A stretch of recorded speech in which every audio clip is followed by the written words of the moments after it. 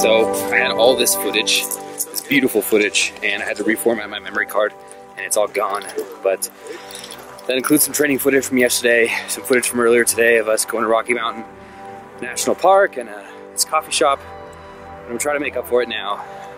We're at Rocky Mountain National Park, uh, and we're gonna go under this bridge, take a look at the river passing underneath. We're gonna go up to Bear Lake, just do a little bit of exploring today. And I've got the whole Barbell Brigade crew with me. We're all back there. So uh, yeah, should be fun.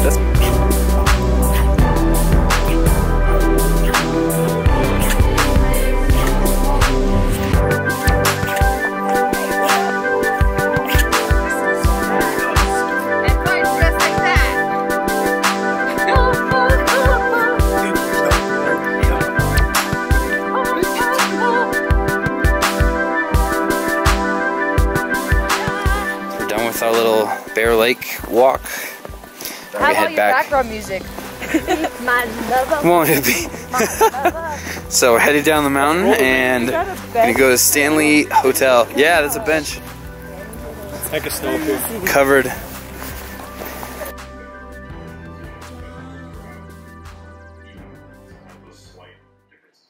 So with all that fun out of the way, getting back to training, uh, this day was Sunday, working up to three sets of three at 660. Um, nothing too special going on on deadlifts uh, or bench press. I kind of strained uh, some fiber in my pec. Um, but the real cool story is how well squats are moving. Um, with Barbell Brigade here, uh, I I tried to work up to 615 for a set of four. I bailed it on my first set, but I was able to come back and get it on my uh, second set. So 615 for a set of four is definitely uh, a lifetime PR. So really excited about that. And later on, um, you'll see some sets of five at 560, I believe. So yeah, head in the right direction as far as training goes. Um, I think the the main thing is going to be to uh, stay injury free, to push progress forward. I'm really making a concerted effort uh, this week, uh, and you know probably for the next three weeks or something like that, just to optimize sleep as much as possible. Um, stay away from video games at night. Uh, I had been playing Dark Souls 3, and I'm really trying to stop. So I've just been doing some reading before bed, um, trying to make sure that I'm optimizing the three things that I think influence uh, recovery the most outside of training, uh, and that is sleep, uh, fluid intake, and protein intake. So I'm trying to optimize those as much as absolutely possible. So the only other message that I really wanted to put in this video is the message that I want the listeners uh, to know that it's okay to do things for no reason, uh, to just experiment for the sake of experimenting, for enjoying yourself while you're training. Uh, it's okay to be scared, to be anxious uh, about workouts, uh, to not to not know how you feel, uh, to have this really complex relationship with lifting, and uh, to move in and out of, of these feelings of you know absolute exuberance of knowing where you are and where you're headed, and of not knowing what the hell is going on, and just kind of trying to make the most of things.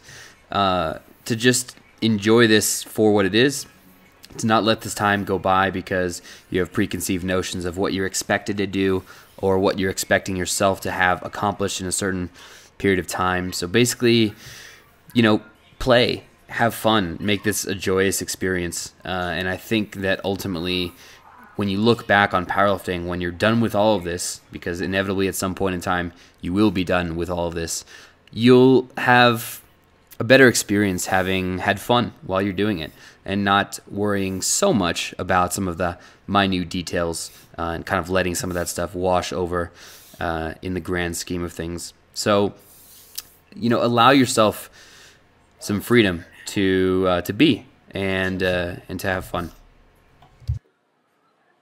Day, we're at Raintree Gym, Raintree Athletic Club.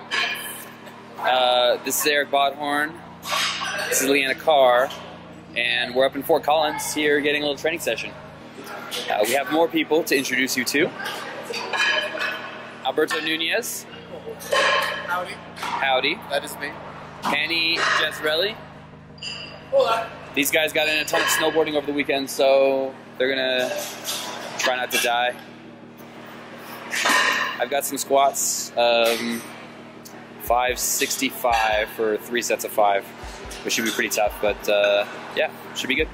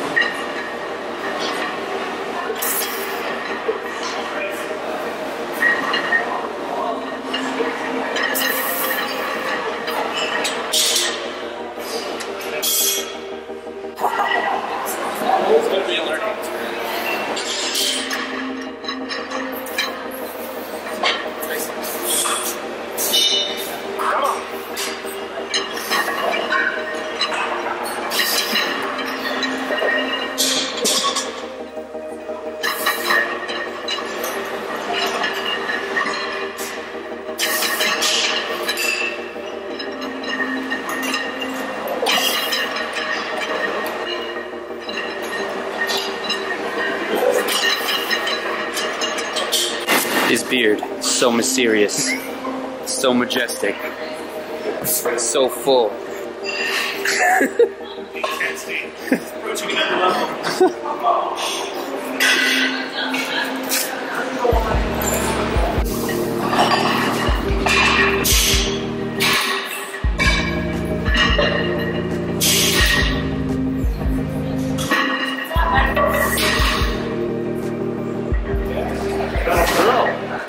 feel you inspired like a freaking ton of us to be coaches.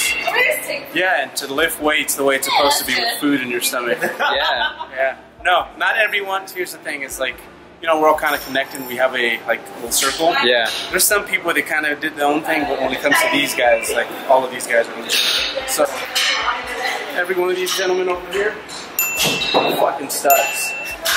Really good against fats. Yeah. Well, we all came from 3DMJ, and we were thinking about like some of the the ethical values that got instilled in us that we just kind of carried over into coaching as well. yeah. So we're all super thankful. Yeah. yeah. One big team, man. Yeah. 3DM